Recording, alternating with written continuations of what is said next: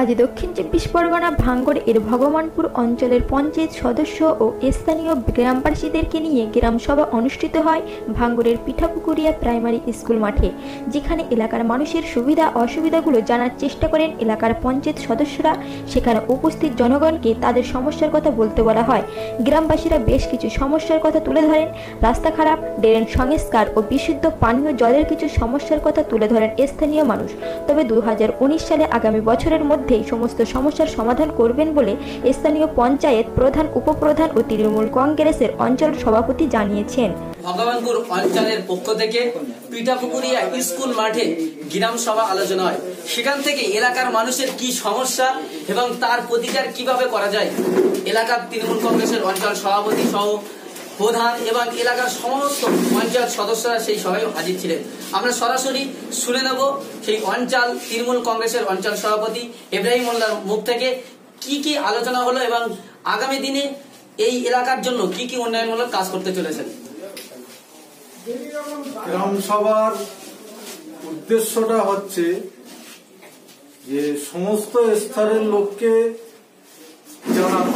যে আগামী বছরে আমরা কি কি কাজ করতে চলেছি, তার জন্য গভর্নমেন্টের যেরকম অর্ডার ছিল এবং আমরা সাধারণ নাগরিক হিসেবে আমাদেরও দায়িত্ব কর্তব্য যে শুধু মেম্বার বা প্রধান ও উপপ্রধান তারা এই কাজে নিযুক্ত থাকবে না। একদম তৃণমূল স্তরের সাধারণ মানুষ তাদের কাছ থেকে পাড়া বৈঠক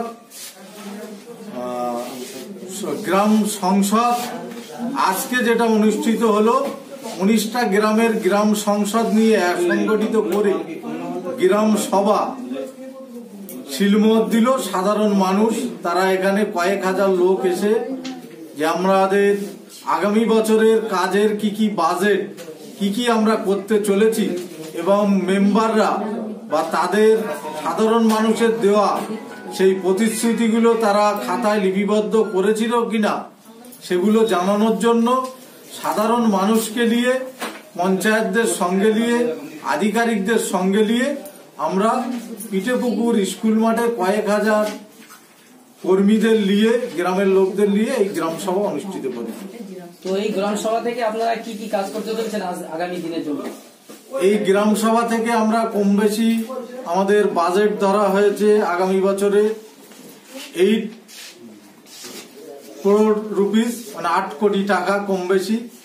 তার সিংহভাগ আছে আমাদের এনআরইজিএস কাজের আর বাকি অর্ধেক টাকা আইএসজিপি ওনফান পিবিজি এবং তিন চারটে ফান্ডে ধরা হয়েছে।